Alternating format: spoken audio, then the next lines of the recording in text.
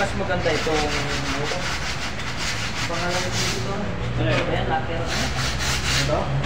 Ano yan? Pati. Spot pati.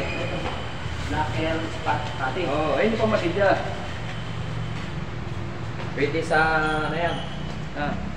Pwede sa simento. Pwede sa Yan, sa bakal. Plywood. Pwede sa Hindi kahoy. pwede sa hindi siya pwede sa bakal. Hindi pwede sa bakal.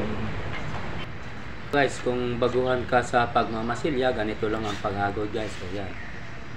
Yan. Tandaan lang siya. Diba? Ganun lang kasimple. Hindi tayo magmamadali dahil yung ginagamit natin masilya, hindi mabilis matuyo.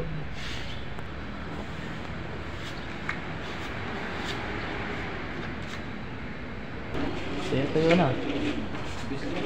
Mga ilang ano yan, minuto bago matuyo. Yan. Depende kasi din sa kapal. Ha? Depende sa kapal. Depende sa kapal. Pag ganyan lang, saglit lang yan.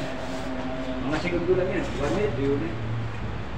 Eh, bago ano, bago piturahan, anong pampinising na liha? 1,000. 1,000. Yun na yung pinong-pino na.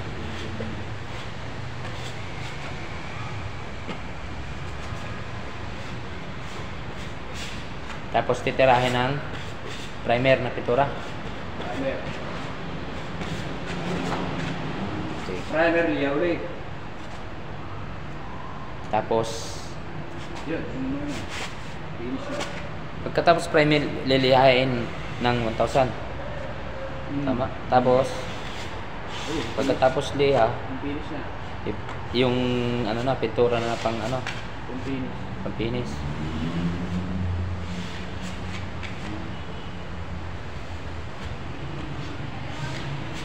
Nagtrabaho pala no? Ayun. Ulit-ulit. Palo ulit pa rito. Masilan nga lang pagka sa kotse, no? Masailan talaga. Masilan. Mas masailan pa sa bahay. Siyang kote, hindi ba diba? Finish yan. May mga hairlines, hairlines nga lang, eh, punain. Oo. Kaya pinabapping yun.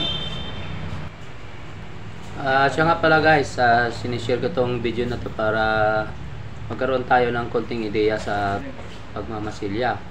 So, mga konting ano lang to, ideya. Pero pagka tayo nang mag-apply, doon natin malalaman kung paano ba talaga ang pagmasilya.